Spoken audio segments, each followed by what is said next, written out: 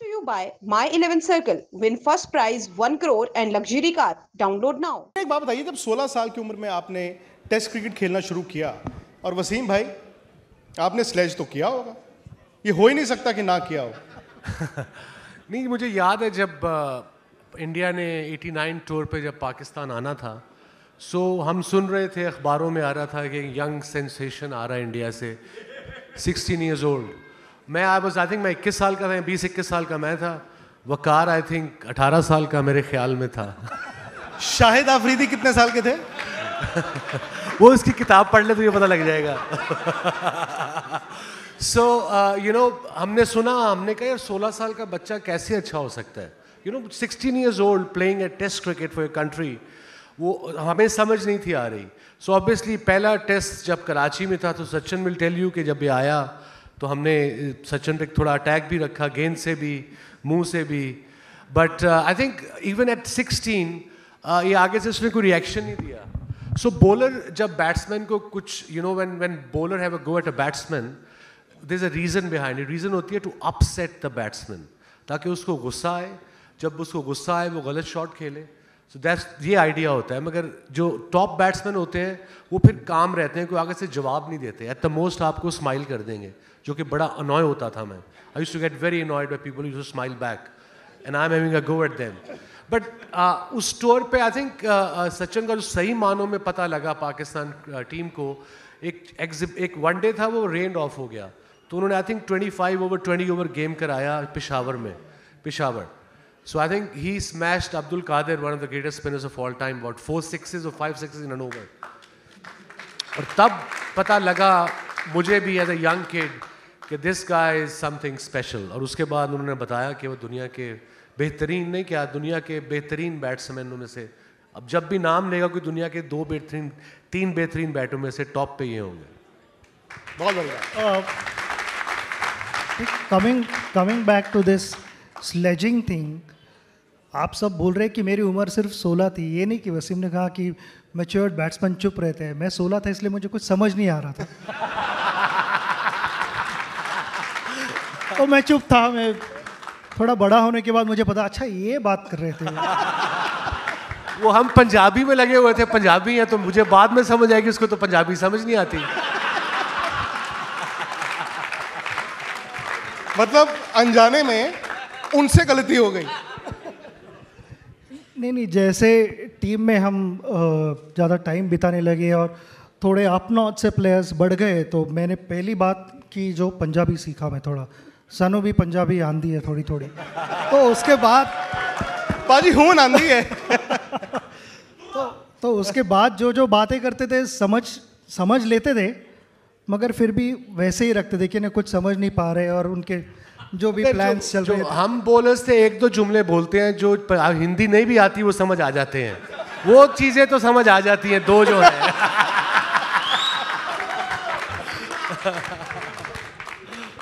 अच्छा आपने कहा कि इनिशियल जो एक दो फेलियर्स हुए सेटबैक्स हुए आपको लगा कि नहीं आई डोंट बिलोंग ये ऐसा हुआ था कि आपको लगा यार मैं टेस्ट क्रिकेट पता नहीं आगे खेलूँगा कि नहीं खेलूँगा?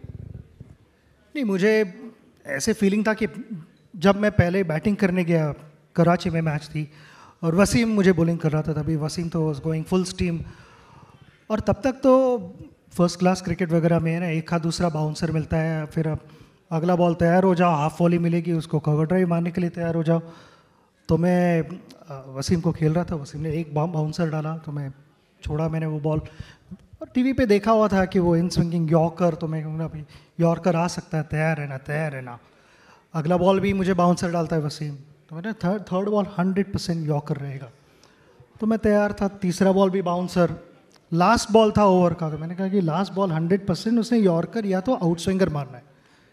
चौथा बॉल भी लगातार बाउंसर डाला तो उस समय तो आई थिंक रूल था नहीं नहीं, नहीं बॉल एज मेनी बाउंसर्स या तो चौथा भी बाउंसर छोड़ने के बाद मैं ओवर होने के बाद है ना ऐसे ही बीच में दूसरे बैट्समैन के साथ बातें कर रहा था अजहर के साथ।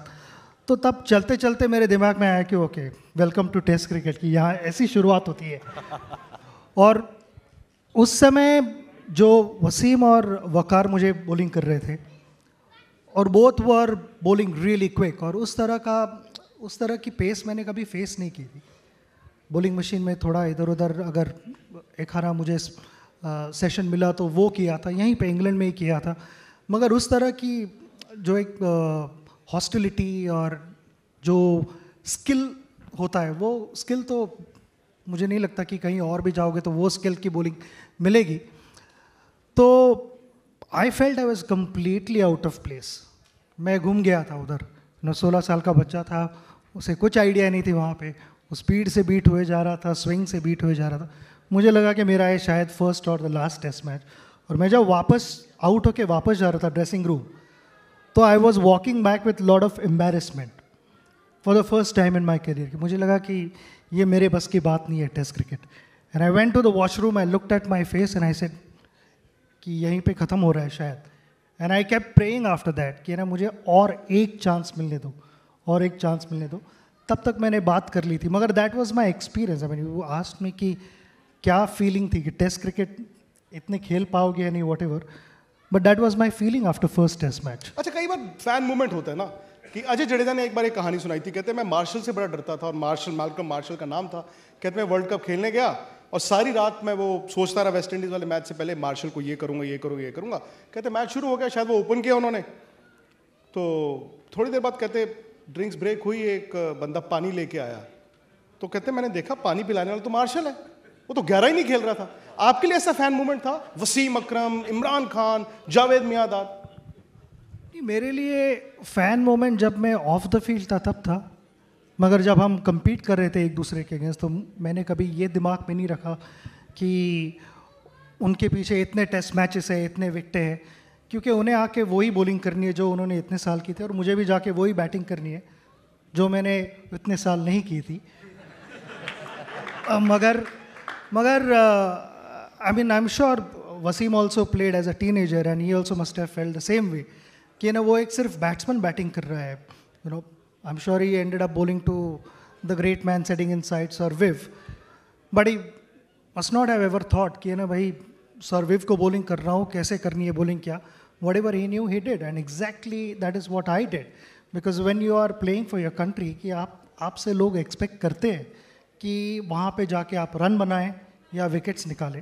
तो एज मुझे नहीं लगता कि एज फैक्टर ऐसा है होता है कि वो सिर्फ़ ऑन पेपर रहता है, मगर जब आप टर्फ पे जाते हो तो एज रियली डजेंट मैटर आप पाकिस्तान से गए, न्यूजीलैंड न्यूजीलैंड से गए, इंग्लैंड इंग्लैंड में आपने सौ बना दिया।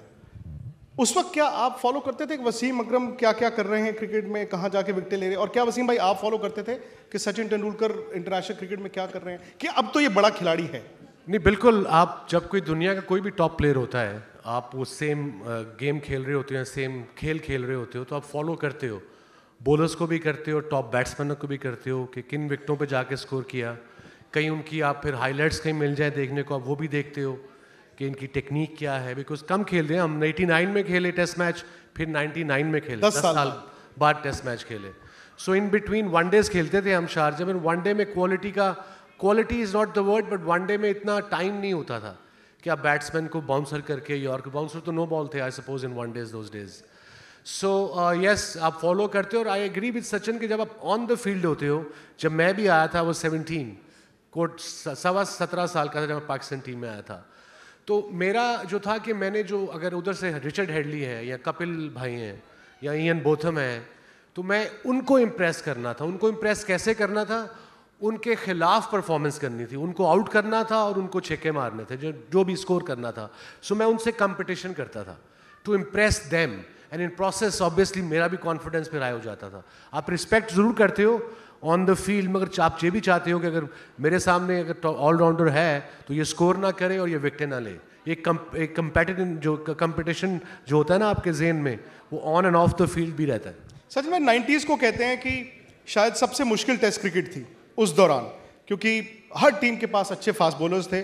फिर शेन वॉन मुरलीधरन ये स्पिनर्स भी थे टीमों के पास। क्या आपको रिग्रेट है कि यार 89 से 99 आप पाकिस्तान के खिलाफ टेस्ट क्रिकेट नहीं खेलने को आपको मिला? जब पाकिस्तान की टीम अपनी पीक पर थी।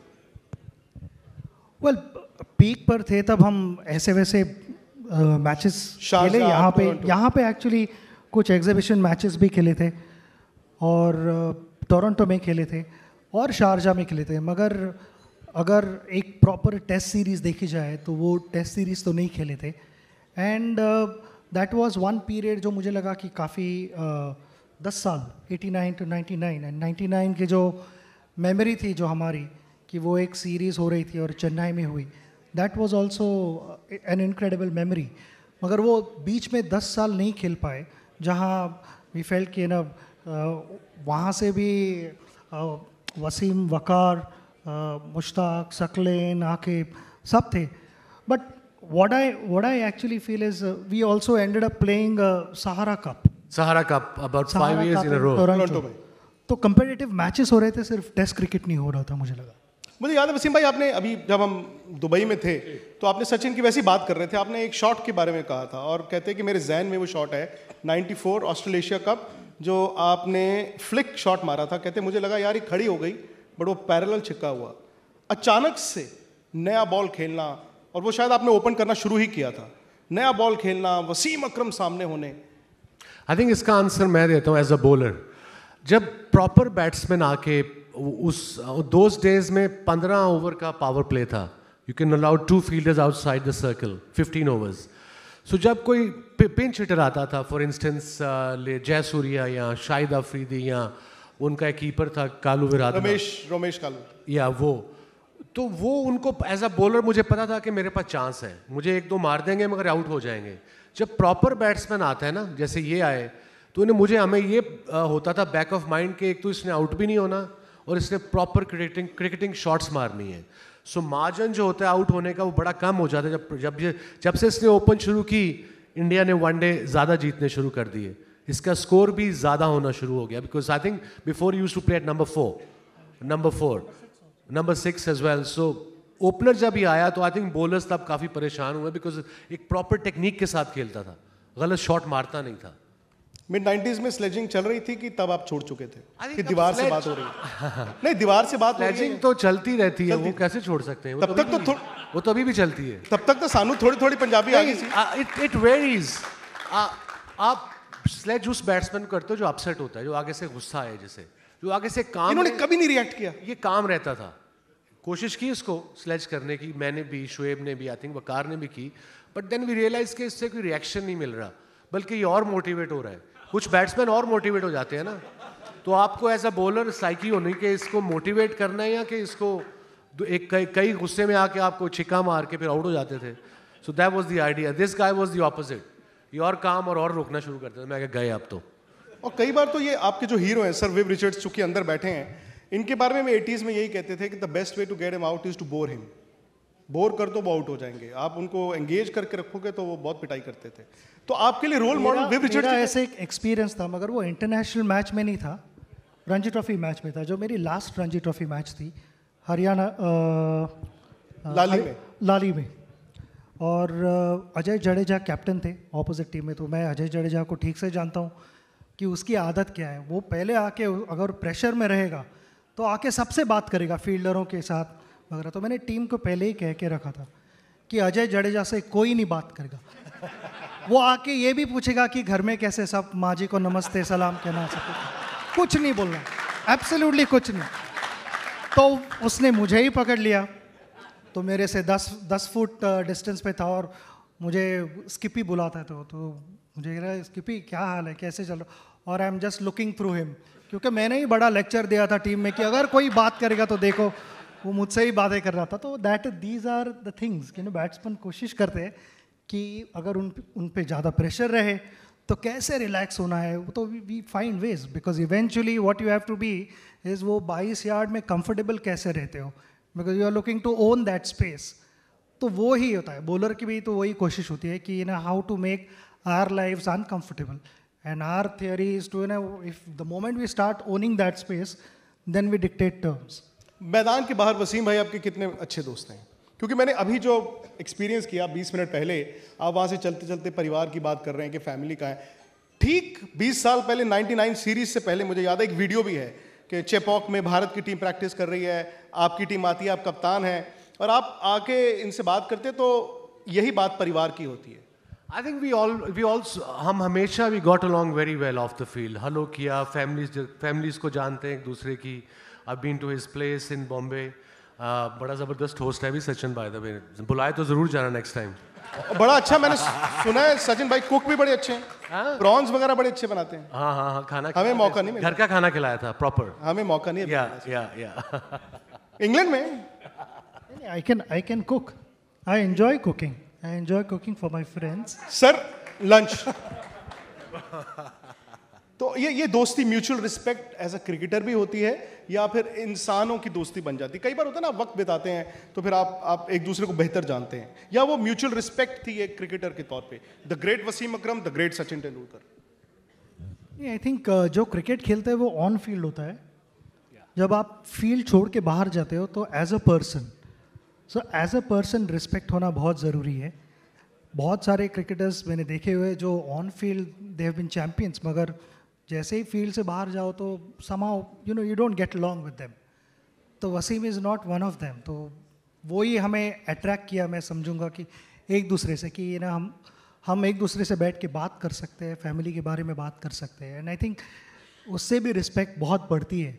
सिर्फ़ अच्छे क्रिकेट खेलने से रिस्पेक्ट नहीं बनती। मुझे लगता है कि अच्छे इंसान रहने से रिस्पेक्ट और भी ज़्यादा बढ़ती है।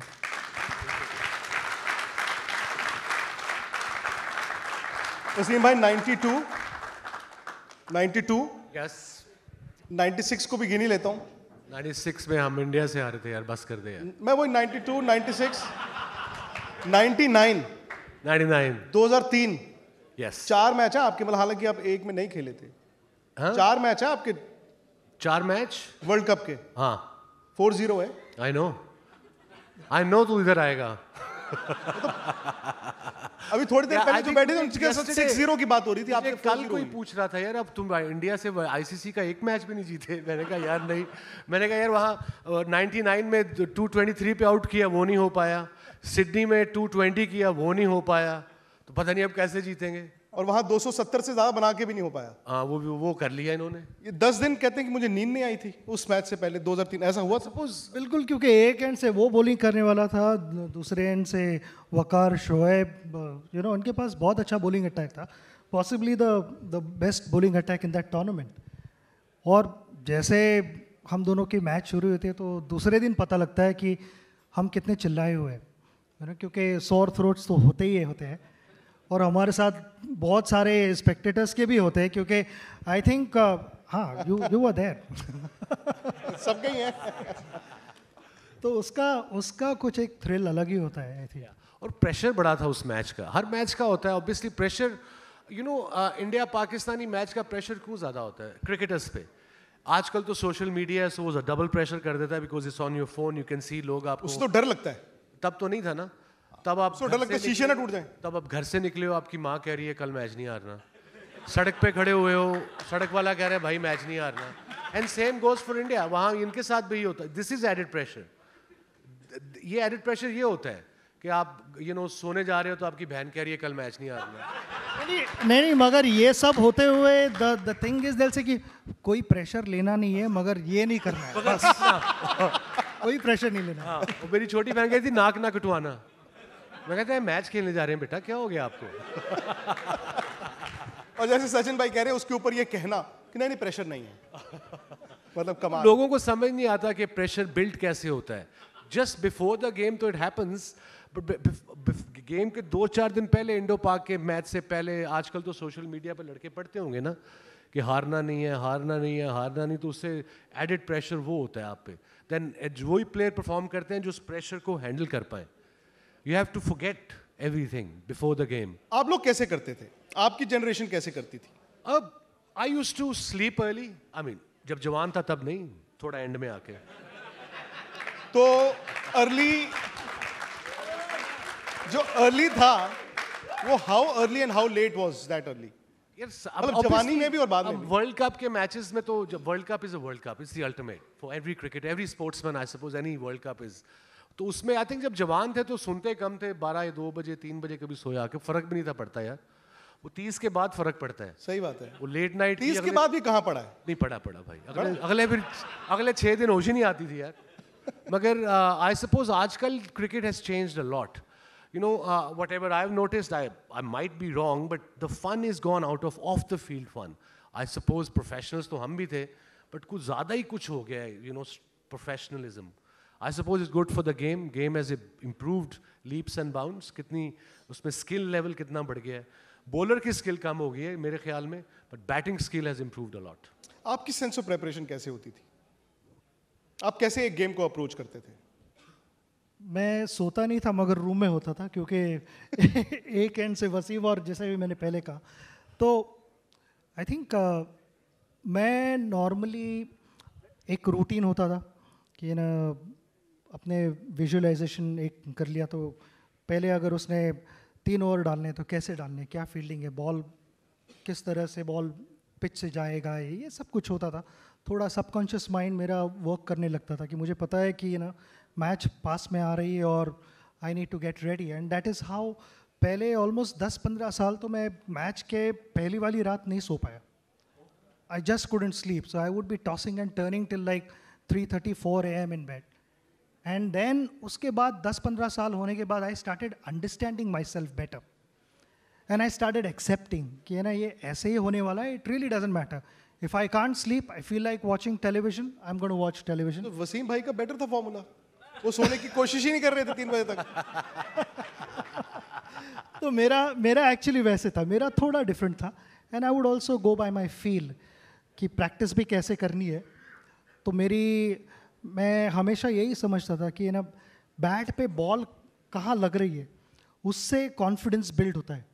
तो वो एक साउंड होता है, उसका जो एक कॉन्टैक्ट रहता है तुम्हारे दिमाग के साथ। And that conveys lot of message कि ना, उसको आइधर वो एक पॉजिटिव पावरफुल मैसेज होता है या तो एक वीक मैसेज होता है जिसमें थोड़ी वलनेबिलिटी होती है। तो उस पर मैं बहुत फोकस करता था कि ना, वो साउंड क्या कन्वे कर रहा है। अगर वो साउंड सॉलिड स्टेटमेंट देने वाला साउंड होता था तो I didn't need any practice I felt okay I am in good space I don't need to practice और उसका एग्ज़ाम्पल है 2003 वर्ल्ड कप में I just had one net session पूरे टूर्नामेंट में. तो we are about day for about 50 55 days उसमें मैंने एक नेट सेशन किया है क्योंकि I could hear that sound when I was doing throw downs I could hear that sound so I relied a lot on my feel तो उससे वो मेरा प्रेपरेशन होता था। नहीं तो इसका मतलब ये है कि कभी कभी तैयारी ना करना बेहतर है क्योंकि उस वर्ल्ड कप में आपको याद होगा वसीम भाई इंजी भाई ने शायद 19 किलो वेट लूज किया था और रन भी शायद 19 ही बने थे पूरे वर्ल्ड कप में। वो उन्होंने एक बार बोला था कहते मैंने इतनी मेहनत की मैंने 19 किलो अपना वज़न कम किया 2003 वर्ल्ड कप और पूरे वर्ल्ड कप में रन भी 19 बने। तो आपने ठीक किया एक ही नेट सेशन किया। और आप उसमें गाफिल्ड सोवर्स ट्रॉफी मिली थी आपको। बट वो रिग्रेट था क्योंकि पहला वर्ल्ड कप फाइनल था आपका और इंडिया हार गया। Yes I think it was one of the biggest disappointments of my life क्योंकि हम उस टूर्नामेंट में इतनी अच्छी क्रिकेट खेले थे। उसके पहले when we when we played in New Zealand तो वनडे मैचेस में ज़्यादा स्कोर्स नहीं हो रहे थे क्योंकि they kept you know rather lively tracks और 180 200 was a winning total for sure तो batsmen were not in good space bowlers को फॉल्स कॉन्फिडेंस मिला था। तो सब यही सोच रहे थे। इनफैक्ट फ्लेमिंग ने एक स्टेटमेंट भी दी थी उस सीरीज़ के बाद कि the bowlers have gained false confidence and batsman are looking for weaknesses which don't exist South Africa में गए तो जो मैं साउंड के बारे में बात कर रहा था वो सुनाई नहीं दे रही थी। वो साउंड सुनने में थोड़ा टाइम लग गया और जैसे जैसे वो पीक होता गया, हम वर्ल्ड कप के फाइनल तक गए थे और the only team that we lost to was Australia in that entire tournament दो बार हम हारे, एक पहले दूसरा मैच खेल रहे थे, वो हारे। Against Australia and then the finals but I felt कि हम ज़्यादा चार्ज अप थे और कभी कभी यू नो दैट जो अग्रेशन होता है, मगर वो कंट्रोल्ड अग्रेशन नहीं होता तो उसका रिज़ल्ट नहीं लगता लगता है, जैसे चाहिए वैसे। तो हमारा अग्रेशन था, मगर वो कंट्रोल्ड अग्रेशन नहीं था। If given a chance again we would approach that game differently Wasim भाई, आप एक बैट्समैन अगर चुने, सचिन के अलावा, वो कौन होगा जिसने आपको बहुत परेशान किया हो? यार it's very difficult to pick one I played about 20 years जो यू नो हर एरा के ग्रेट्स के साथ खेला हूँ। एक तो अंदर बैठे हैं वो सर विविन रिचर्ड। तो बहुत पिटाई लगाते वो बदमाश था यार पूरा। आप कुछ भी बोल दीजिए उनको हिंदी नहीं समझ आ रही। हम पतले पतले बच्चे छोटे छोटे वो इतना बड़ा जिन का जिन। और विदाउट हेलमेट पहन के आता था।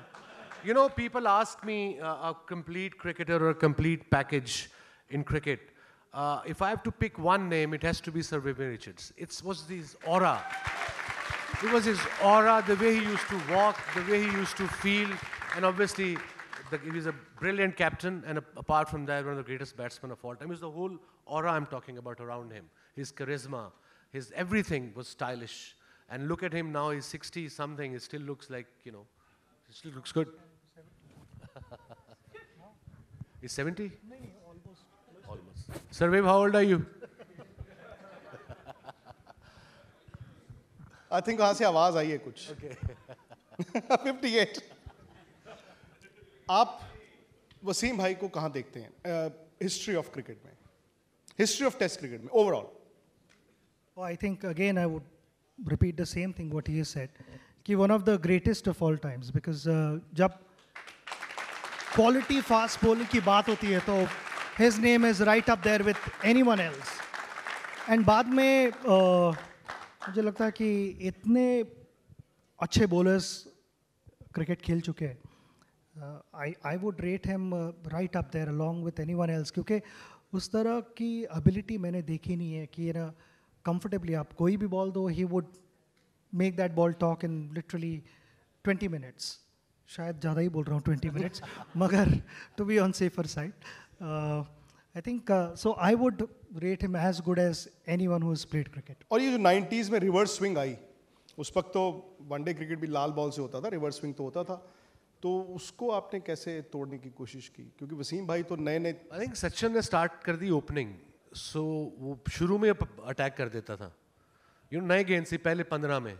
तो जब तक रिवर्स स्विंग का मौका आता था by the time I think वो सौ सौ करके वापस चला गया होता था सचिन बाय देन नहीं बट उसमें एक रिस्क ये भी है ना कि बॉल की जितनी आप पिटाई लगाओगे बॉल भी उतनी जल्दी खराब होगा। बॉल भी तो खराब होगा जितनी पिटाई होगी। नहीं आई थिंक तब uh, एक बॉल लगता था वनडे में बाउंसर नो बॉल था so was bit unfair for bowlers but that's why I think reverse swing really work well for Pakistanis and it's not अभी भी अगर मैं गेंद बना के किसी को दे दूँ वो दोनों स्विंग नहीं कर पाता।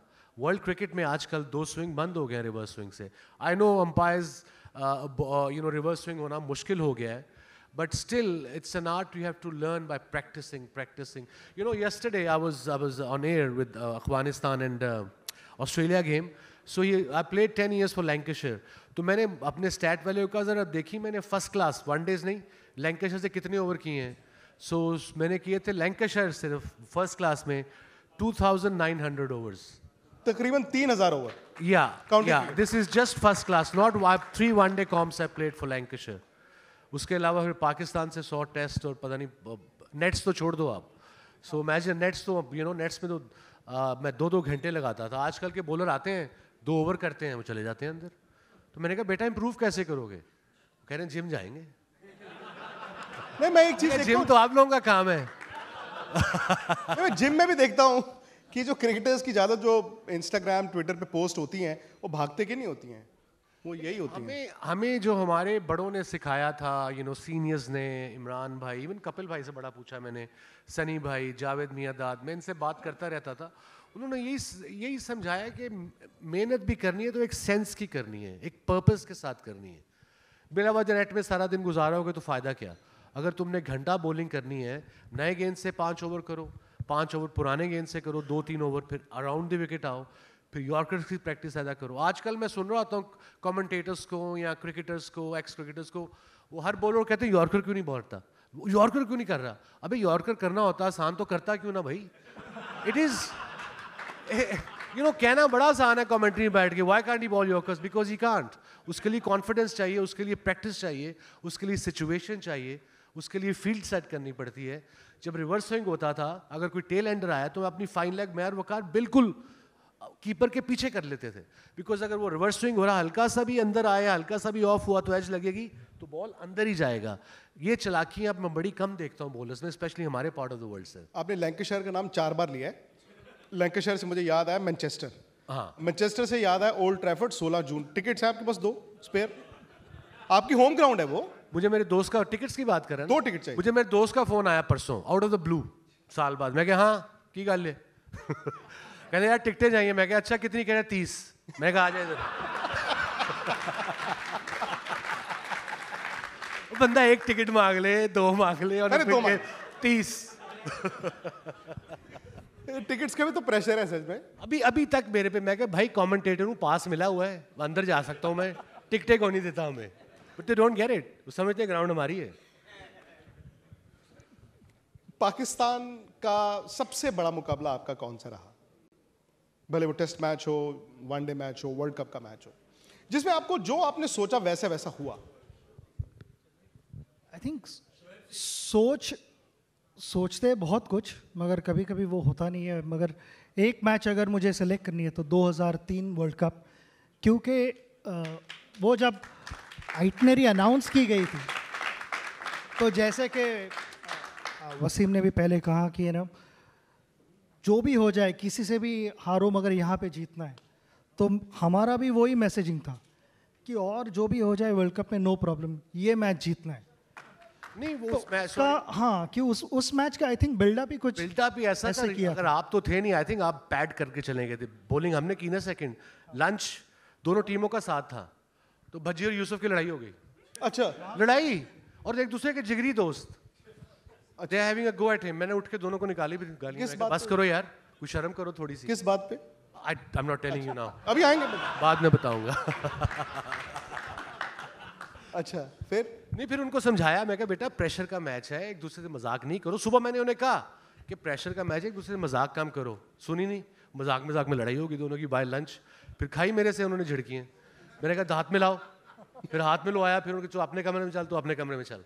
बाद में मिलते हैं। इन्होंने तो सिर्फ़ आइसक्रीम खाई थी शायद लंच में। प्रॉब्ली आई थिंक जब बैटिंग करने गर्मी भी थी जब बैटिंग करने जा रहे होते हो सो आई सपोज़ मैं भी अगर बॉलिंग करने जा रहा हूँ तो भूख आपको कमी लगती है। You don't feel hungry at all तो उस मैच की आप बात बता रहे थे कि नहीं वही तो मैंने मैं ड्रेसिंग रूम में वो लड़ाई हुई मैंने सुना था मैं था वहाँ पे। मगर मैंने कहा कि मुझे मेरी एनर्जी यहाँ पे नहीं वेस्ट करनी है मैं ड्रेसिंग रूम में जाऊँगा। वो मेरी एनर्जी में रहूँगा। मैंने मैंने अपने ईयरफोन्स लगाए म्यूज़िक सुनना शुरू किया। और एक एक ही बात कही ट्वेल्थ मैन को कि मेरे मुझे एक बहुत बड़ा बोल आइसक्रीम का लेके आना और एक बनाना चाहिए। तो वो मैं खा रहा था और मैंने बताया था कि जब अम्पायर्स बाहर जाए तभी मुझे इशारा करना है तब तक मुझे डिस्टर्ब नहीं करना है बिल्कुल। तो I I was least bothered कि क्या हो रहा है ड्रेसिंग रूम में कौन क्या कर रहा है क्या कह रहा है। क्योंकि ऐसा झगड़ा होने के बाद उसके थोड़े वो ट्रेमर्स के बाद वो आफ्टर इफेक्ट्स थोड़े चालू रहते। कि इधर उधर ड्रेसिंग रूम में थोड़ी बातें नहीं वो कुछ ऐसे ही कहे जा रहा था तो मैंने भी नहीं छोड़ा वो सब सब कुछ होता है।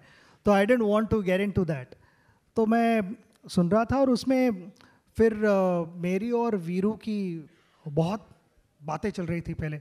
वीरू कह रहा था ये मैच में आज पहला बॉल आप खेल लो। वसीम डालने वाला है, पहला बॉल आप खेल लो। और और मैं बोले जा रहा था, मैं नहीं खेलता हूँ, मैं थोड़ा सुपरस्टिशियस हूँ, मुझे नंबर टू अच्छा लगता है तो मैं नॉन स्ट्राइकर्स एंड पे रहूँगा। तो हम नीचे जा रहे हैं, फिर भी वीरू मुझे बोला भाई यार, क्या कर रहे हो यार? आज का खेल लो यार, मुझे लग रहा है मैं नॉन स्ट्राइकर हूँ।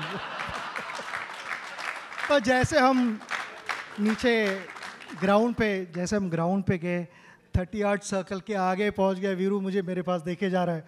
तो मैं मैंने ऑलरेडी डिसाइड किया था कि मैं खेलूँगा वो पहला बॉल तो उस दिन मैंने पहला बॉल खेला था तो उनको आपने कब बताया? जब स्ट्राइक वीरू को बताया नहीं था मैंने। मैंने थोड़ा गैस पे रहने दो। वीरू की आदत है बाकियों को गैस पर रखने की। मैंने कहा कि वीरू को रहने दो थोड़ा गैस और चेंज और उसके बाद फिर शोएब अख्तर का छक्का तो आप तो हिंदुस्तान कितने साल रहे हैं? आपने कमेंट्री भी की है। मेरे ख्याल हर आधे घंटे बाद वो स्पोर्ट्स चैनल पे वही छक्का दिख रहा होता है। अभी तक दिखा रहे हो यार मैं पचास बावन साल का हो गया हूँ। वो तुम्हारा स्पोर्ट्स चैनल मैंने बड़े आउट किए हैं वो एक ही मैच दिखाते हैं। गंगुली मुझे चौके पे चौका मारी जा रहा है। पिछले 20 साल से वही मैच देख रहा हूँ। एडलेट वाला जो सौ किया था दादा ने वही मैच देख रहा हूँ पिछले 20 साल से। लेकिन उस जीत के बाद फिर सेलिब्रेशंस अनबिलेबल सेलिब्रेशंस क्योंकि फ़ोन पे तो बात हो रही थी और हमारे रिलेटिव सब फ़ोन है ऐसे हवा में पकड़ रहे क्योंकि वहाँ पे क्रैकर्स वगैरह बर्स्ट हो रहे थे। सब कुछ चालू था ये सेलिब्रेशन और और उस रात हम बाहर गए। तो मेरा दोस्त था मेरे साथ, हम सारी टीम चली गई सेलिब्रेट करने के लिए। ये आज तो सभी ने इकट्ठा बैठना है और सेलिब्रेट करना है तो सब गए बाहर। तो आई थिंक अबाउट साढ़े दस, ग्यारह बज गए थे। तो सारे रेस्टोरेंट्स बंद होने शुरू हो गए थे स्लोली स्लोली तो वहाँ पे ऐसे एक स्टॉल था जहाँ पे चाइनीज़ फ़ूड सर्व कर रहे थे। तो हम, हमने कहा कि वहीं पे जाके स्टॉल में हम खाना खा लेते और फिर जाते वापस होटल तो मेरा दोस्त वहाँ से वापस जा रहा था उस मैच के बाद। तो मैंने कहा कि मेरा एक पार्सल है can you please carry that parcel for me तो सड़ा नो प्रॉब्लम मेरे को अभी देना तो फिर कल सुबह तुम्हें जगाने की ज़रूरत नहीं है. तो I handed over the parcel to him तो हम वापस जा रहे हैं गाड़ी में एंड आई सेड कि वो मेरा पार्सल ज़रा संभल के रखना इंपॉर्टेंट चीज़ है उसमें। आई कम टू दैट तो उसने कहा ओ I don't believe this I forgotten the parcel मैंने कहा, कहाँ कहाँ भूल गए? तो वो स्टॉल पे वहीं जहाँ वो लिटरली चार पहिया जैसे लगे थे वहाँ पे, वहीं पे नीचे रखा था मैंने, एक अडीडास के बैग में था।